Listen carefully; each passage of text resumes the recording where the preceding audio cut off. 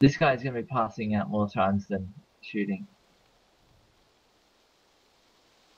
Oh, I'm not scared of Hunter. He'd be shaking and bloody and not being able to see anything. He'll, he'll think he's lined up the shot.